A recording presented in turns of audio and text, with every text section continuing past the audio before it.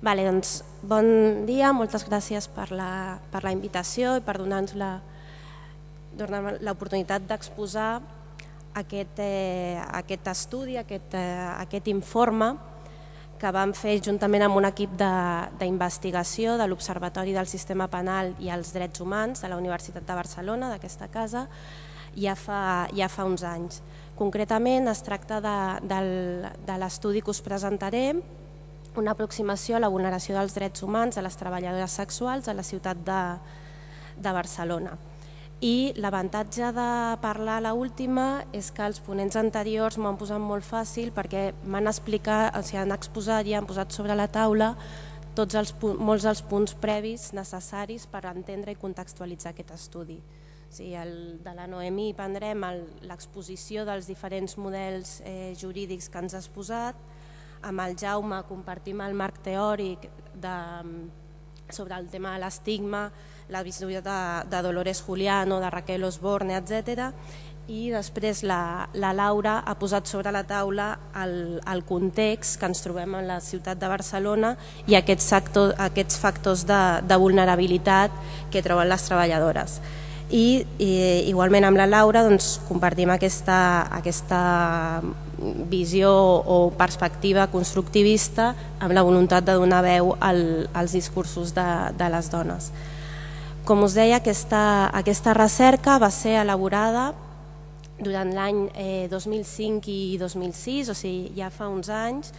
però, com diuen algunes eh, companyes que, que segueixen treballant amb aquest tema, lamenta, malauradament eh, les conclusions encara són molt vigents. Va ser elaborada per Celeste Arella, eh, Gemma Nicolàs, Julieta Bartabedian i jo mateixa tres juristes i una antropòloga amb la qual cosa doncs, la, la presència de l'antropòloga va fer que metodològicament eh, es sustentés molt millor aquesta, aquesta investigació. I vam tenir finançament de l'Institut Català de la Dona i la Regidoria de, de Drets Civils de l'Ajuntament de, de Barcelona. L'objectiu general de la recerca era una pregunta molt oberta. Era, es tractava amb esbrinar què, què passava amb l'àmbit del, del treball sexual, de la prostitució, perquè era un tema tan controvertit, tan polèmic, que generava tantes friccions a nivell polític, a nivell social, a nivell mm, personal inclús, que qüestionava tants temes. I per això ens vam plantejar doncs, això, analitzar els discursos i les pràctiques dels actors, organitzacions, institucions vinculades directa o indirectament al treball sexual, en un context concret, com és el de la ciutat de Barcelona, per esbrinar, per extreure quins són els drets eh, humans de les treballadores sexuals que estan sent vulnerats. Abans de, de continuar, cal fer certs aclariments eh, per, per situar aquest, aquest estudi i per mm, emmarcar la, la recerca. Com s'ha comentat eh, abans també pels companys de, de la taula, existeix una gran heterogeneïtat en la prostitució, moltíssimes formes de viure-la, moltíssimes formes d'exercir-la, moltíssimes formes de, de relacionar-se de cara dintre de cara fora amb aquesta, amb aquesta realitat. I aquesta recerca es va aproximar a la que també, com s'ha dit, es considera aquella prostitució més marginal o més estigmatitzada, que és la, la prostitució que es dona al, que es fa al carrer. Llavors, el, el perfil de, de, de subjecte que va protagonitzar aquest estudi va ser el de la, la, el de la dona immigrant i que contacta amb els clients eh, anar al carrer.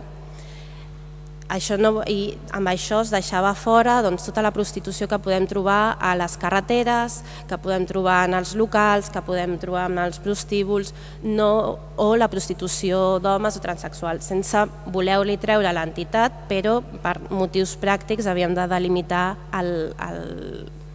l'àmbit de, la, de la recerca. Quan parlo de, parlem de, de treball sexual, el que ens referim, com ha mostrat la Noemi, és un intercanvi voluntari de serveis sexuals per diners.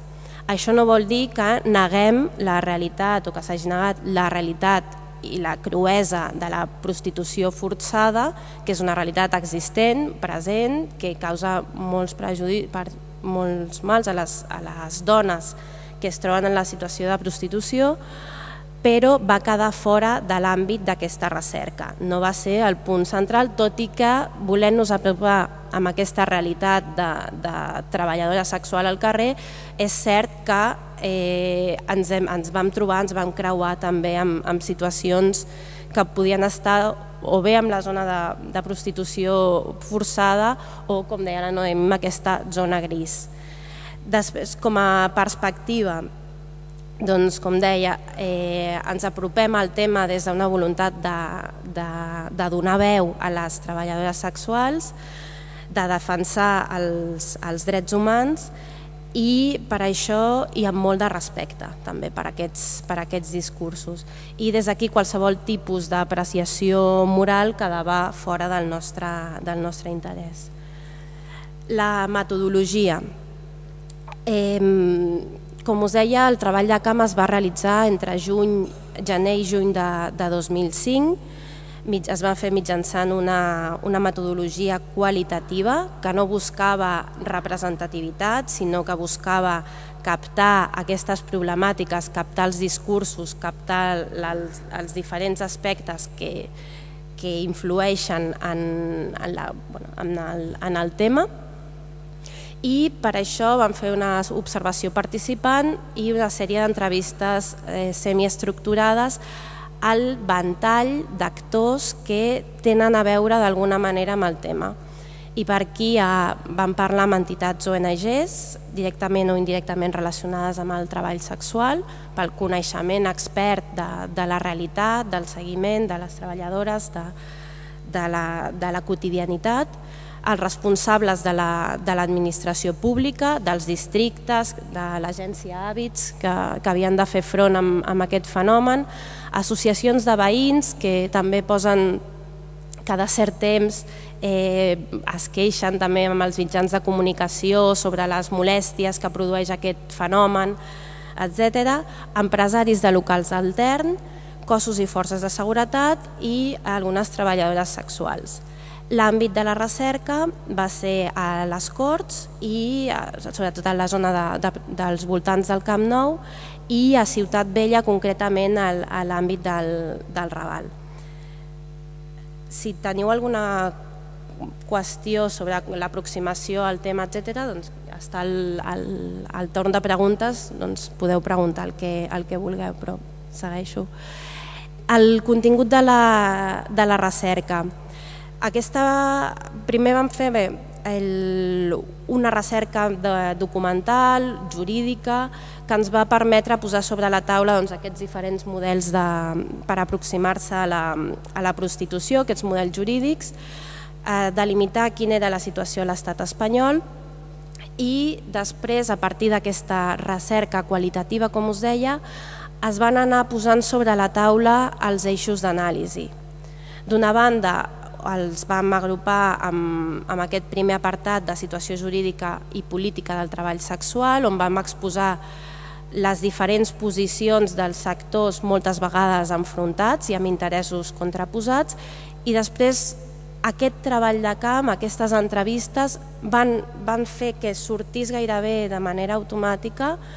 els diferents àmbits que estructuren l'anàlisi. Una és la qüestió migratòria, que ja ha sortit en totes les, les anteriors eh, ponències. L'altre és el tema de l'estigma i la, la, la influència que té tant de cara en dintre com de cara en fora a la, a la situació de les, de les prostitutes del treball sexual i l'altre la rellevància de que aquest treball s'exerceixi al carrer, també les, les connotacions i una mica com a conclusió d'aquests diferents fronts apareixen les diferents vulneracions de drets humans.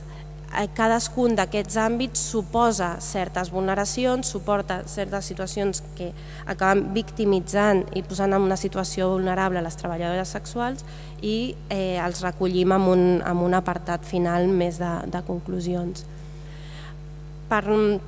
anar una mica, ja han sortit algunes coses, però mm, recalcant la importància de, de cadascun d'aquests eixos. El fet de que, com deia la, la Laura, gairebé doncs, la gran majoria de, de treballadores sexuals que en aquest cas vam trobar en el carrer de la ciutat de Barcelona, a l'àmbit en què ens vam aproximar, són persones estrangeres, són dones eh, immigrants. I això repercuteix de diverses maneres. Una, amb donar major visibilitat al col·lectiu això fa que eh, pugui semblar més eh, problemàtic, hi hagi una percepció de problematicitat més gran a nivell social, a nivell de veïnat, a nivell d'institucions públiques. Fa que sigui molt més present la, la problemàtica. L'altre eh, tema relacionat amb, amb el que es tracti de dones migrants és, eh, com també ha sortit, les formes de migrar, si tenen a veure o no amb aquest treball sexual amb aquest, o amb la situació de prostitució i que pugui determinar la situació en què estigui la, la persona. No? Moltes vegades doncs, aquestes, algunes d'aquestes dones venen amb, amb xarxes que faciliten les migracions, altres vegades amb màfies de, de tràfic de persones, però el que ens vam trobar va ser moltes situacions intermitges. Com deia eh, la Laura, doncs, moltes situacions de deutes contrets amb la persona que ha facilitat el viatge, que això crea una certa dependència amb aquella persona, però no vol dir que sigui una, que estigui exactament, que càpiga dintre d'una situació de, de trata. Però és una línia molt, molt fina i molt, molt delicada. Després també el que ens vam, el que ens vam trobar són les, la, la, la rellevància de la situació de regularitat o irregularitat en quant a possibilitat de, de ser subjectes de, de drets. El, el, tenim l'Estatut jurídic de les persones estrangeres està relacionada amb formar part del mercat laboral formal. Es tenen papers, es té permís de residència sempre que s'és treballador o treballadora amb un contracte. El fet que el treball sexual sigui exercit de manera eh, informal de manera alegal fa que no hi pugui haver-hi cap mena de eh, relació laboral que permeti tenir uns permisos de, de residència i per aquí es deriven certes situacions que augmenten o fan una doble victimització de les, de les treballadores en quant a restriccions de drets i en quant a possibilitats de detenció internament en els centres d'internament i expulsió. L'altre tema, també parlat pel, comentat pel Jaume, l'estigma de puta. Eh, L'estigma de puta què significa? És el gran rebuig social que, que té la prostitució i les dones que l'exerceixen. També eh, per, per aproximar-nos en aquest fenomen ens vam basar amb la, amb la postura de l'apropament teòric de Dolores Juliano i altres autores i eh, el que ens vam trobar a la pràctica amb els discursos, amb els relats de la, de la treballadora sexuals era una gran ambivalència. Com d'una banda havien interioritzat aquest, aquest, eh, aquesta estigma, aquesta sanció social pel treball que exercien, que exerceixen, però d'altra banda, certes, algunes d'elles també mm, veien amb orgull al haver pogut eh, construir una certa estabilitat econòmica i sentir-se eh, lliures en certa manera de mm, que aquest treball els permetia doncs, la seva eh, supervivència. Aquesta ambivalència és, és un contínum que hem, vam trobar amb, amb tots els àmbits de la, de la recerca i que definiria molt bé eh, tota el, la realitat de la, de la prostitució, tant doncs això, amb, amb l'estigma com amb el tractament jurídic. Ja per, per anar acabant, eh, mm, a veure, una mica el que respecte a la regulació de la prostitució, si com s'ha dit eh, tenim un marc jurídic no intervencionista que seria des d'una postura eh, més aviat abolicionista que parla de que no l'Estat no intervé quan la prostitució és voluntària, excepte en els casos de proxenetisme, el que vam trobar és que de facte a la pràctica hi ha una postura prohibicionista Això què significa? Que tot i que la normativa penal no sancioni la prostitució, està en una situació d'alegalitat, a la pràctica la, la prostitució de les dones eh, que la volen exercir autònomament al carrer està prohibida. Eh, aquesta regulació de facte tindria dos, dos vessants. Una seria que existeix una normativa que regula els locals d'altern i permet eh, la legalització d'aquests locals sense tenir en compte els drets de les persones que estan exercint, que estan treballant. I per altra banda trobem una criminalització de l'oferta del treball sexual al carrer i una certa zonificació. Aquesta criminalització com es fa? Mitjançant quatre mecanismes. Un seria la denúncia policial, en el cas de Barcelona, les denúncies per les ordenances de, del civisme, que posen multes a les treballadores, que en un principi podrien estar victimitzades, es, es zonifica el treball sexual per certes decisions urbanístiques i de mobilitat, és a dir, es tanquen certs carrers on no interessa que circulin cotxes perquè no hi hagi prostitució en aquell lloc, es fan certes operacions urbanístiques de modificar l'espai urbà per eh, impedir que hi hagi la prostitució en determinades zones on no interessa per motius de turisme, que hi hagi llocs